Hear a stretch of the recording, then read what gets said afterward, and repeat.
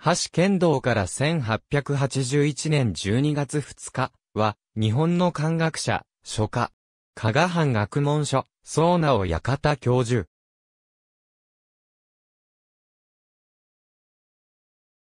作家、三島由紀夫の祖祖父、橋静江の祖父。1822年、加賀国金沢で、加賀藩士の父、橋一派と金沢出身の母との間に次男として生まれる。幼少より書を良くした。父、橋一派は、漢学者、書家で、久具山と合した。剣道の兄、往来も漢学者、書家で、石はじめ、大乱剣と合した。成人し、長町四番町に、広重塾を開くとともに、石浦町に、小前閣を開いて、習字を教える。剣道は、多数の指定を教育し、生徒常に門に密と称された。金沢の大村家の娘と結婚し、六女を設ける。1854年、加賀藩による、総直館の開設に伴い、漢学教授となる。1867年、宇達山に、漢学塾、修学所を開き、平民教育にも力を注ぐ。この、修学所は、時間割を自由にして、夜学の部が設けられ、現代の夜間校の走りでもあった。1870年、藩の文学訓導、筆官教師となる。廃藩置県後の1873年、小学校三等出資に補えされる。1875年、二等出資に進み、1879年、木牌をもって検証される。子が、いずれも娘であったため、1873年に、瀬川健三を三女、河の婿養子とした。剣道の、もを求む中心の漢学や、庶民教育にかける熱意は、養子の建造に継承される。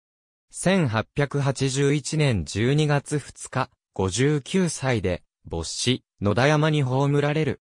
剣道は、夜学や女子教育の充実など、教育者として先駆的であった。また、宗直館、修学所など、その出所身体は、藩の重要プロジェクトと連動していた。剣道が出資した宗直館は、儒学を治める藩校ではなく、加賀藩が命運をとして創設した軍事機関である。剣道は、市政の漢学者ではなく、軍事拠点の中枢にあって、解剖論を戦わせ、佐野かなえから、様式兵学を吸収する立場にあった。1853年、ペリー率いる黒船の来航は、人々に大きな衝撃を与えた。204年に及ぶ幕府の鎖国体制を崩壊させる外圧の始まりである。日本全体が主戦状態にあるという現状認識から、幕府はもとより各藩において解剖政策が最重要課題となった。剣道のいた加賀藩も財政難に苦しみながら解剖強化に乗り出してゆく。1854年、上垣の木畑の果術方役所所管地に洋式軍事研究所、総直、館が整備される。施設は、加賀藩の軍政改革の中核的な存在として、明治初年まで存続する。総直、館では、法術、馬術、洋学、医学、洋山、航海、測量学などが研究され、訓練や武器の製造を行った。さらに、加賀藩では、西洋流法術の本格的な導入と、軍政改革を図るため、洋式兵学者の招聘を検討する。村田増六、佐野かなえ、斎藤薬郎の3人が候補に上がり、1857年、西洋流法術として名高い佐野かなえが出資する。佐野は、西洋法術師範宗取役に就任した。そうなお、館では、佐野を中心に解剖が議論され、軍事研究の進化が図られた。そうなお館は単なる研究機関ではなく、敷地内には、法術のための棚場や朝練場が設けられるとともに、弾薬所や炎症製造所、軍艦所が付設されるなど、一大軍事拠点を形成していた。